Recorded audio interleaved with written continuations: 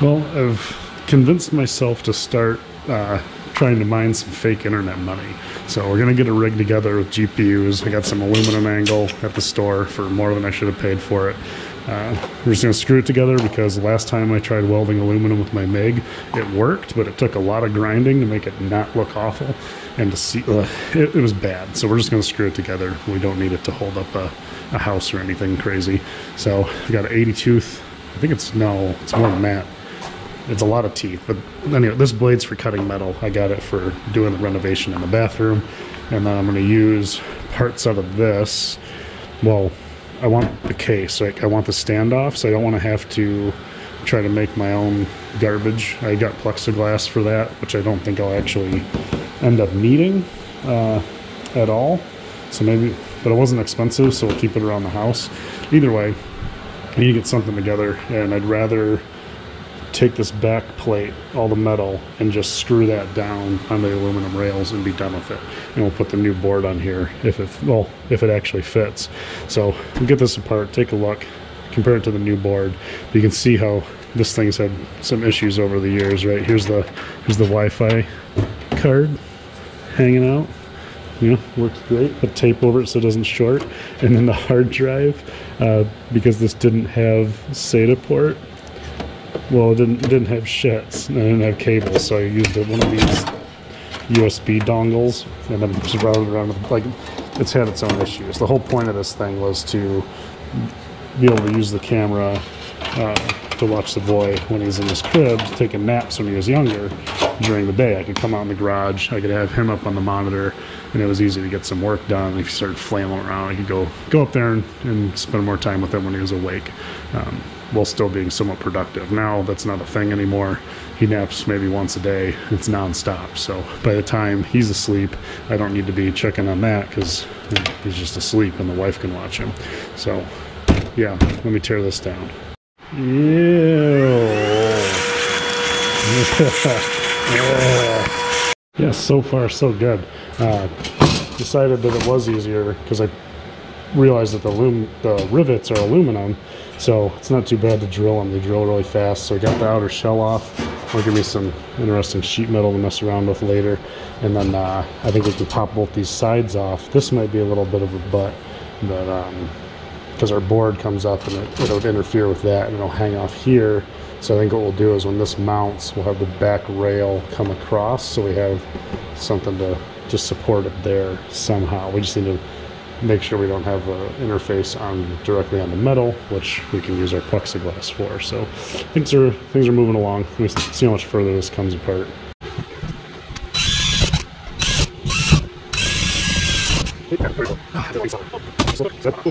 Right, there we go. So there's a panel with uh, some pre-threaded standoffs that these screws will work with. I like this a lot better than like screwing it into wood or something like that. So what I'll do is go go upstairs and check real quick because I'm trying not to bring components down here into the garage because I make messes. Uh, and see if it only uses these two or if it does. There wasn't a hole for this. I think the car, the board only comes like here. So I'll double check that, see how it really lines up with these. And anything that's not going to get used, you know, we'll lop off some of the side and just uh, screw that to the rails but I want to make sure that like if this standoff doesn't have a spot, I don't want it sticking up and pushing on the board uh, where it might interfere with the tracing. So, okay, so this is where the edge of the board comes to. It only uses these four uh, at the time. You know, we're gonna shave these down so they're not touching it, and I think I'm gonna cut uh, uh somewhere right around there so we keep this crease. Yeah, kind of lop it off, and then I'm gonna keep these and see if I can't use them. Like if I have one big panel, right, I might be able to uh, mount this to the piece going across. Well, no, because these aren't the same distance. Either way, I'm gonna see if I can repurpose these um, instead of trying to make something myself. Yep, here's, this will be the front part of the frame, right? So the board, this guy, will sit here. So we'll screw him on probably in the center uh, somewhere. And on this mark where I used my superior sheet metal working skills to make a cutout will be for one of these C channels uh, to go across. And that'll support this part of it as well as any power supplies I need to stack next to them because um, that's a power supply came to about there. So if it oops, sits down, okay, brought one downstairs. Keep it here where uh, things are a little cleaner. So we only need it for the measurements. So I've got a riser board already attached to this. Um, and all, all the video cards ever are going to have mounts up top. Uh, and then the PCI will be in the same spot because everything has to be consistent with the with the board and whatnot. So I think what we want is our rail right about in the center of that. So yeah, it's going to be pretty skinny to the front there. Um, and then we need to measure this distance down so that it's correct and it's not flopping around or anything. So this sits as flat as possible. Here it is. Um, remembered at the end that triangles are strong, so went ahead and just triangulated the end instead of trying to box anything. Um, it's pretty stout, like it's going to hold up everything we need to. It's a little jank, but whatever. One thing, I do have an irrational fear of metal stuff touching. So like these screw heads that stick up, I'm like, oh, like what if they, you know, the back of this board, just a whole bunch of stuff back there. I don't want, so I think we're going to space it up with this plexiglass. We'll cut uh, holes for the standoffs through the plexi so that it sandwiches this against the metal instead of metal against metal. Now, yeah, that's how we'll do it. Here's that plexiglass piece. I got a little crack when I was drilling it, but I made these big enough they kind of sit on top of these screw heads and go over the, the standoffs. So think we're done with garage stuff except for a hole to hold the card. Mm. I think I should drill those now. Yeah. I have to drill those now. Otherwise I'll have aluminum everywhere. And then I'll take everything inside, put it together, not in the garage. Here's the board in place, that plexiglass in between. I'm really happy with the way it turned out. It feels good. Nothing's weird's going on, and I know that none of the backside of the board is going to be touching metal. So, best chip in the universe. Mmm, Celeron. Awesome. This was only like 80 bucks. So, I'll have everything priced and get a spreadsheet going for ROI, that kind of thing. We'll see uh, real world results in my basement compared to um, what people are advertising. Okay, I'm not entirely sure what's going to happen, but we're plugged in. Power supplies. I need to figure out a good way to mount that. Mm, board's lit up. That's good. Power switch. CPU fan came on and went right back off. Okay, so here's allegedly the problem. This was a 7th gen, boards for 8th gen. This is a 9th gen, which should be compatible. we'll find out uh, if it'll post once I get this all together. Derp. Okay, round two. See if we can't uh, confirm my stupidity. This fires right up. Now it should go in. I mean, there's some BIOS changes I'll need to make, small details like that. But really, we just want to see if it starts running. You got a little load meter up there. So let's look at our actual draw. It's not drawing anything. Boards on. Drawing two 1.72 watts with nothing on. Nervous. Oh, let's make sure this is looking for a signal. How do you buttons? There we go. blue please? Look at that. Fan's still spinning. It's doing little flashy things.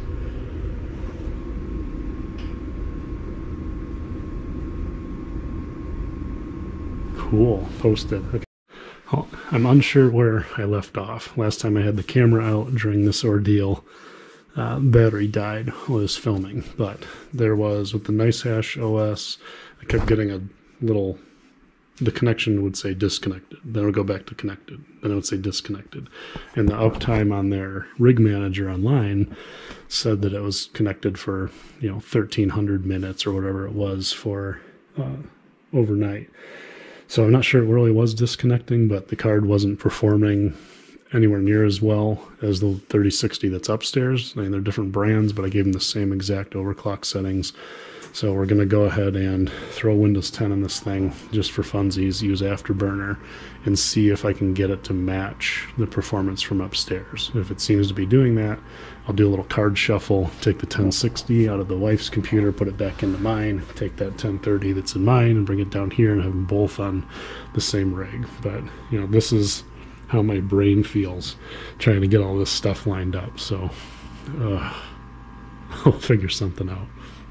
Um, one of the other things that I wanted to use Afterburner for that I didn't see any options for in in NiceHash's setup is that I'll be able to give it a minimum fan speed. There's a lot of talk that, uh, from the research I've been trying to do to catch up with everyone that's been at it for a decade that the fans only come on based on the the CPU's the GPU's computer chip guy, right, It looks at that temperature and runs the fans while we're declocking it and not using much. It's our RAM that's getting hot. So we, we don't want it to be spinning low. I always kind of wondered in videos why guys had them spin up so fast and the temp was low, and it's because they're not really looking at the the, the chip temperature. They're looking at the, the RAM temperature in the card. So yeah, we'll, we'll bring those up to a little bit quicker. You know, we don't want them going too fast because the bearings will fail eventually, but figure out what's normal. Okay, so the monitor is not plugged into the power meter. That's okay because I, am not going to have the monitor running all the time. I'm just going to check, use it to check on stuff. Or mine away, this particular one shows accepted and rejected shares. So in the morning we can check on that, try to make sure it's below 2%.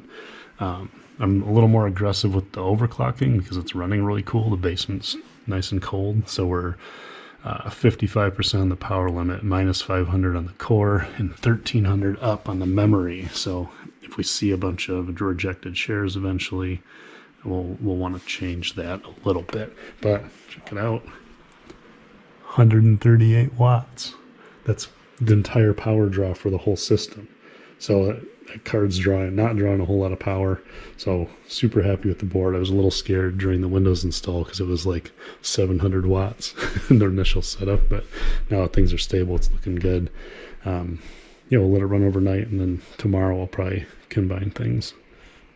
All right, got both cards running now. It's interesting. It'll run two separate uh, pools, algorithms, whatever. I'm not even sure what to call them, but it'll run two different plugins to do mining depending on which card does better with which one. So that's kind of cool.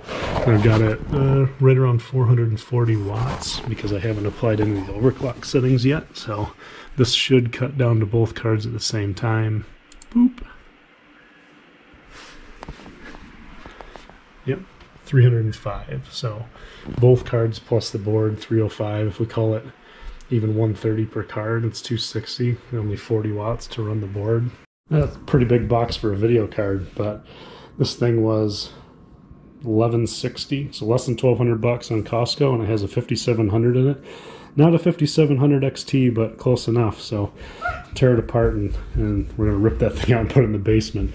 And yeah, let's just see what it looks like. I guess probably looks crappy. I'm trying to cut the kid. Hey, dude. Yeah. Don't get in the toilet. Ooh.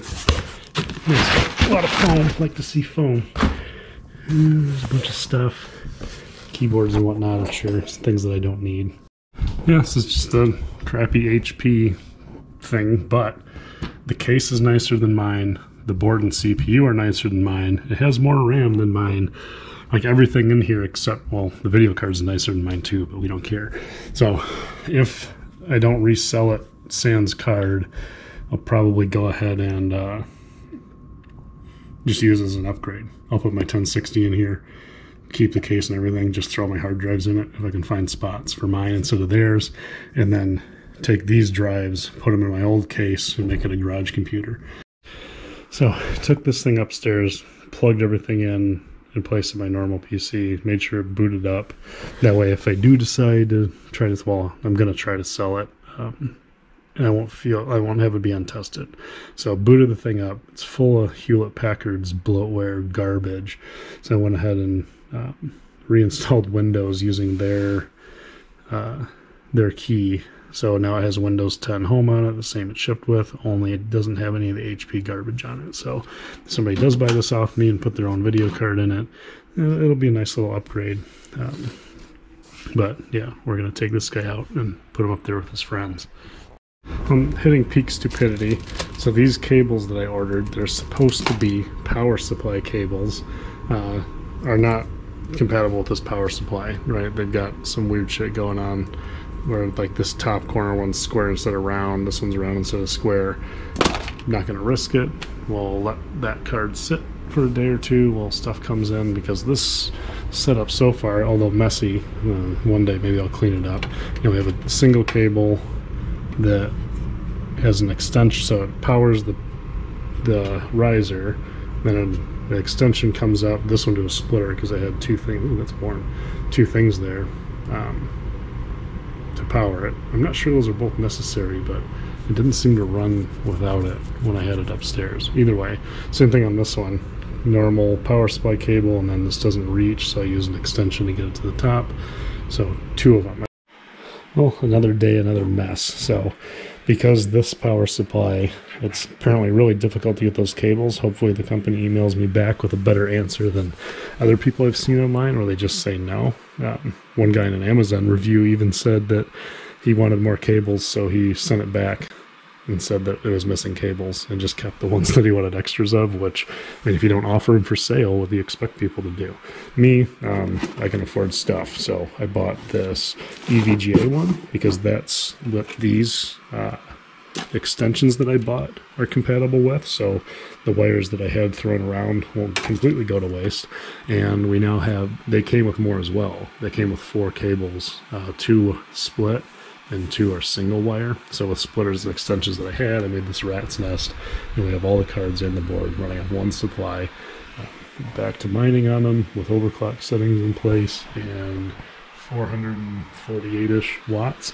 So I put an entry in the spreadsheet just a bit ago. So tomorrow we'll get a full day, see how much power it consumes, see how much more um, I earn, and then move on from there. So I think, yeah, tomorrow I'll update the spreadsheet do a little bit of video to end this. I'll take, um, let's use my headset or something. Here's a sound test, me talking. Not sure how it's going to sound. Need to change uh, mouse settings so my cursor can be seen. Uh, da, da, da. Make it bigger. And pink, bright pink. Hell yeah, that'll do her. So I'll do a quick overview. This is how I set up my spreadsheet to kind of see what my ROI is going to be. Um, electric rate, let's be a little more detailed there, 0.185. Uh, power cost, why did you do that? There, good enough. So on this side, it's hard to use this giant mouse. Uh, date and time goes in here. Jesus, stop it. and it populates here together. So when I add and subtract these cells, it gives me just hours, like however many hours I ran. I have little notes here, so everything in gray is not accurate data, right? Because I didn't have the cards running all on the same rig. I didn't have the 5700 installed yet. Uh, there's just a number of things that the only reason these lines exist is to test the math and make sure it's working. So up here I have this pulls in the value of Bitcoin live while putting in a delay, however many.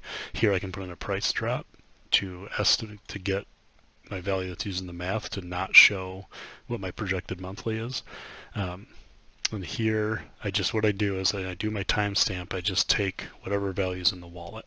So after a month, when I pull that money out to pay the additional electrical and go towards my return on investment, um, I'll have to account for that somehow because the only these values are totals right? So the value here is going to be total value in the account depending on price. The value here is going to be our total power used according to the meter in the basement as well as this little bit of math accounts for the 1060 6 gigabyte card that's running in my actual desktop. It doesn't run 24 7 but we're going to charge the electricity like it is. Um, same thing with the power per hour, or the power cost, power per hour. Yeah, so the cost is there. here's how much the power costs per hour, and that takes this number into account, right? It takes our H9 minus H8. Does that make sense? Divided by C9. Divided by the time. Okay. Does that make sense? Hold on a second. Okay, yeah, so I am making sense. so this one, I went the wrong way. So it takes our total, right, and it subtracts the previous total. So that you only have the difference, and then your hours are the hours between entries. So we're dividing that by the hours to get an hourly rate for our electricity. That also accounts for the 1060. And then our value per hour is the same thing. It subtracts these two and just looks at the interval, and then projects the the monthly amount. So if you were running at that peak, here's the amount you'll get. And the reason I'm doing it this way is to see kind of an exaggerated version, right? So that now that we're stable and we're not going to really touch the things for a while, um, I'll do a daily or every couple days, and this should stay the same. And then if I go in and say, hey, you know, if two months from now Bitcoin drops $20,000 per that's what I'll make a month instead. Still happy with that because remember this takes into account the electricity cost which doesn't go up or down. It's the same all the time. So even if Bitcoin dropped to $7,000 I'd still pay for my electricity and make $30 a month. It's not ideal but it shows that things can crash quite a bit before this becomes not profitable on modern cards and that's why they're all out of stock now so I kind of got lucky in that I was able to pick up you know, a 3060 for retail. This is all prices including state tax, state sales tax. Um, my wife was a doll and stood in line and bought a second card. She got the last one in stock. Uh, I didn't even realize there'd be a line. I didn't think that things were that hectic. And when we showed up, yeah, it just wrapped around the building. And she's like, oh, if I don't get in now, people are just going to keep showing up. And then I bought a gaming PC from Costco. This is retail on the card like a couple years ago when a non-XT 5700 came out and this was the cost of the whole PC. This is the PC itself is better than the one I use the game on once in a while. So if I don't, if I'm not able to sell it on the secondary market to recoup that cost, I'll just use it on my own and I still won't count it towards the rig costs.